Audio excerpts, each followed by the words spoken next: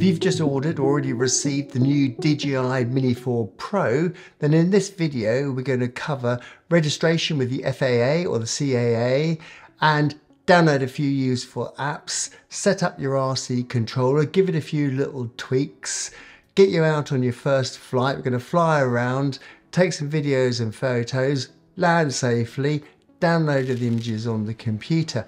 But first, I'm going to show you this little bad boy, the Air 3. Now there's some interesting similarities here between the new DJI Mini 4 and the Air 3. They really upgraded this Mini 3 to this Mini 4 by adding these little feet, just like the Air 3. We've now got these bug eyes all the way around underneath. So we've got completely 360 obstacle avoidance, just like the new bug eyes on the Air 3. We've now also got the landing light underneath, same as the Air 3. They're both running on the new transmission system OcuSync 4, so you can use the same controller for these two. So we're definitely looking at a new generation. Now, let's just go back to the controller. So you can either buy the drone with the RC2 or the N2 controller. You can't buy the drone on its own, which was slightly annoying because I already had this controller because I've got the Air 3. So I had to get this controller. Now I've got it, I kind of quite like it. As you can see, it's really small. It's got these nice solid rubbery covered pegs here. It's really compact and I actually think if you're going traveling, that's really quite cool. And you will carry a mobile phone. So I think it's quite a good option. I've tried it out and it works exactly the same. The screen, the app, uh, are exactly the same. So I think it's rather nice. To set up your controllers now, what you need to do is, if you're using the N2, is take the control sticks out of the base here, screw them on here. You will pull out the top spring here and you've got your connection cables in here and in the box it comes with connectors for Android and iPhones, take your phone and connect it in like so. So you'll need to download the DJI Fly app and log into that using your account you've just created on the DJI website. And then you launch the app on your phone and then you can fire up your controller. You press the button down once and then hold it down for four seconds and that fires up the controller and you'll do the same on the drone. hold the button down once and then hold it down for four seconds and that fires up the drone. And then what you'll need to do is pair these together. The screen will pop up and say, do you want to connect this to the N2? Once these are connected, you'll get a message saying activation successful. And then it's going to ask you if you've got DJI Care Refresh and whether you want to bind these two together or go and purchase it or you can just skip that process. It'll ask you to download the latest firmware, just agree that and that'll download onto the aircraft and then you're ready to go and fly. You hit go fly. Now in the app, the first thing I'll tend to do is go up to the top right hand side to the three little dots and I just want to check my settings. So I'll go along to safety and for obstacle avoidance I'll put it on bypass. Then I'm just going to scroll down, check my return to home and the return to home altitude is 100 meters, that's fine. maximum altitude I can fly is 120 meters, that's within the law, that's great. And then gimbal calibration, because this has been in transport, I want to calibrate that. So you keep it on level surface and then you let it just go through the calibration process. Then you just get a confirmation that's successful. Then I'll go over to camera and I'm just going to go to the storage and make sure I'm recording everything onto the SD card. And that's it. That's ready and set up to fly. Now, if you've bought the RC2, slightly different. We'll fire this up. It'll go through initial welcome screen and a setup and you'll be asked to log into your DJI account. These will automatically pair out of the box. It'll take you into the GoFly screen and automatically go to the camera mode. And again, you can do the same where you can just go to the three dots and check those same settings as I did. But before we fire these up and get it all connected, let's first register the drone. Firstly, if you're in the US, you'll need to go to the FAA website. There'll be a link for all these websites in the description below. Also, they've brought out uh, the rule where you need to do remote ID. We don't have that in the UK yet. They're looking at it, the CAA are looking at it, but it's one of those, they will bring it in. Likewise, for the CAA, you just go to this website and you've got all the information there. It walks you through everything that you need to do for your flyer's ID, operator's ID. You just do both. It only costs £10. In the US, it's even slightly less, I believe. All you need to know is there's a few safety rules as well with visual line of sight. It's helpful, especially at the beginning, if you've got a spotter and observer with you, keeping an eye out for anything in the sky you need to avoid or any safety issues. Things you do need to know that your maximum flight height is 120 meters or 400 feet. You mustn't fly over crowds of people in any drone and you've got to stay away from airports obviously and those are flight restricted zones FRZs. Now I'll come back to that shortly and show you how you can just check where those zones are. You need to create your DJI account if you haven't already done it. So you just do a simple setup where you put in your email, contact details and create your account. And you'll use that when you set up your RC. Now this app, Drone Assist, is really useful. Totally recommend having it.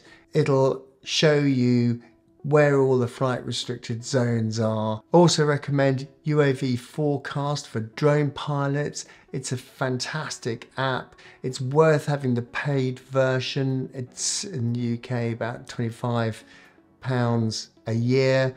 But with that, you can do future forecasts uh, the free version is, I think, just the day, and you can put in the settings, the parameters for your drone, the speed it will fly and the height it's allowed to go, and what the weather conditions will be at that height. And in fact, there's got a maps in here where again, you can check any restricted fly zones. You insert the SD card here there's recommended one that I use that you can see here. And you connect your USB-C charge cable here. And you insert the SD card here, face down, and USB-C charge here. These will come with about 50% charge in them. So put them on fully charged again till the four dots turn fully green. Don't leave them on charging all night long because they can overheat and expand. So just give it its full charge until it's done and then take it out from the charger. If you've got the Flymore kit, charge each battery in the drone first because they can be in dormant mode due to travel and this will activate them. And that's that set up and we're ready to go and fly. So for our first flight, there's a few things we want to take into account. The weather, so I know it's not gusting beyond 24 miles an hour, so it's not beyond the flying speed of the drone. We've checked that on our app. And we've got a full battery, we've got an SD card in, the radio controller's got a full charge in it as well. The environment is a big open wide space. So to take a drone out for its first flight, to test it out, that's a perfect environment couple of accessories I'd advise. One of these is really handy for launching your drone. Also a lanyard so you can uh, put your RC controller attached to it is really handy. Next, we want to make sure we've taken the gimbal cover off, we've taken the, the foam protector away. We then just need to fire this up. You do that by pressing it down once and then hold it down until you hear a little bleep and then we just put that on our launch pad. Make sure you've attached your control sticks. open out the antenna and you can either flip them straight up or have them pointing away, whatever works best for where the drone is positioned and you're standing. And then just hold the button down once and then hold it down again until you hear it bleep. You'll have a red light here and it'll turn green when it's connected to the drone. You'll notice along the top it says normal mode and it says takeoff permitted. Then we're looking along, we've got our battery level, and then we're looking for satellites and we can see we've got 27 28 connected here. So the GPS is going to have a good signal. And then on the right hand side we're going to just check we are in video mode which we are. And then we're just going to launch the drone. We are making sure the drone is facing away from us the same way we've got the controller because that means when I move my right stick right and left the drone will move right and left. And I go forwards and backwards? It will move away from me and then backwards will come towards me. You have to remember when the drone's facing you everything's in the opposite direction. The left hand stick forwards will take me up backwards will take me down and the right and left will rotate the drone to the right or to the left. To launch we just touch the icon on the left hand side and then hold our finger down on the takeoff and the drone will just rise up. It comes up to 1 to 1.2 meters. And now I'll just go through some gentle maneuvers just to check everything's working fine.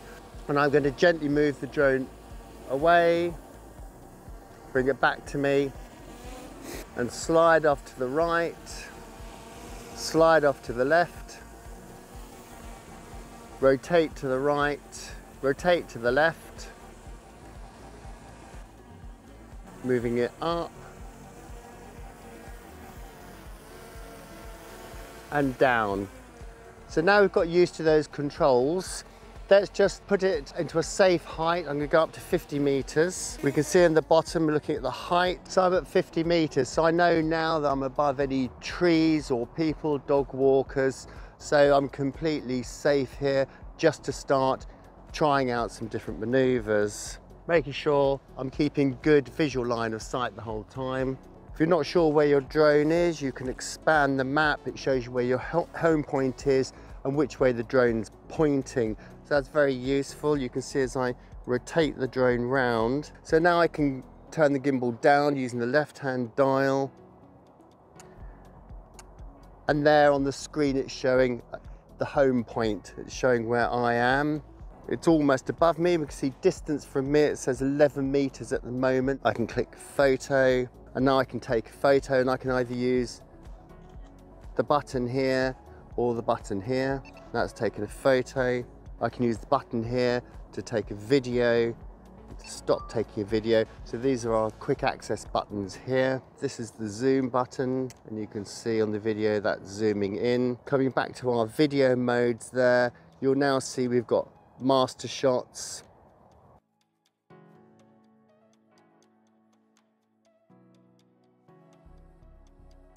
quick shots that's where we've got, we've got, all our automatic maneuvers so I'll just show you a couple of those so we've got the drone just here got myself in the shot. So now I can just hit that plus icon and it's selected me and it's going to do a dronie shot.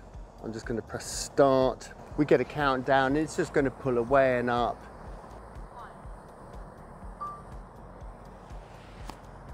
And there it is, just moving away. Lovely shot this because it just starts to reveal the environment around me. I mean, quick shots, one of the favorite things is of course asteroid.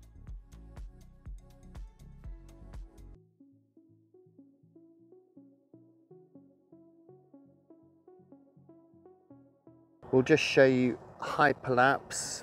So hyperlapses always work nice when there's a lot of movement. I'm going to click on an icon again and now you can see we have pano and this is just where you can do panoramic images so we're just going to do the sphere.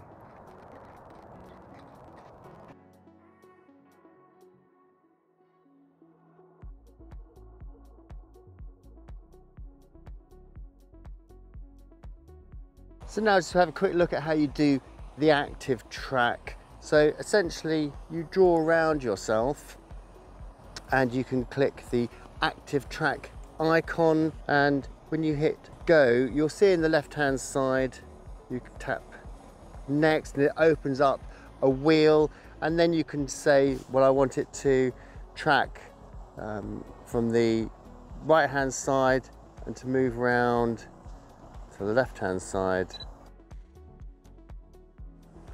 And there it is moving round me beautifully as I've marked on the dial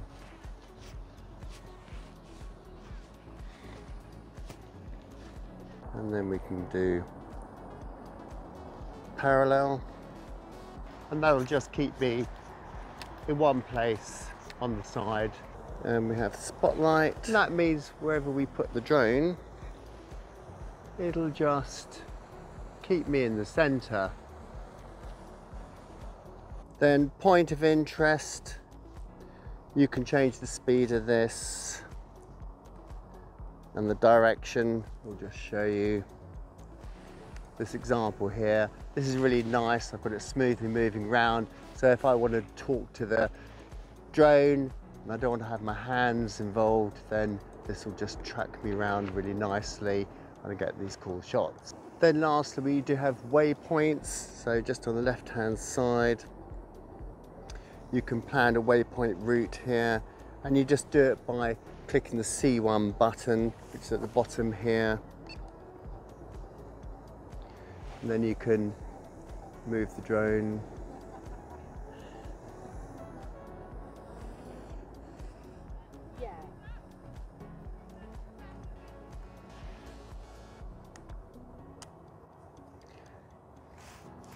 Click another waypoint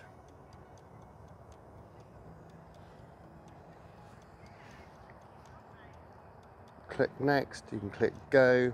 The drone's just going to go back to the first waypoint, move to the next waypoint we set, and it's completed the task. You can set multiple waypoints and have a lot of fun with this. Once it's done, it does this rather funky return to home.